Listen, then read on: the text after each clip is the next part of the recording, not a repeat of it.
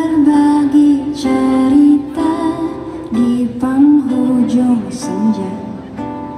Menunggu datangnya hujan. Tiada kunjung datang hujan yang dinantikan. Namun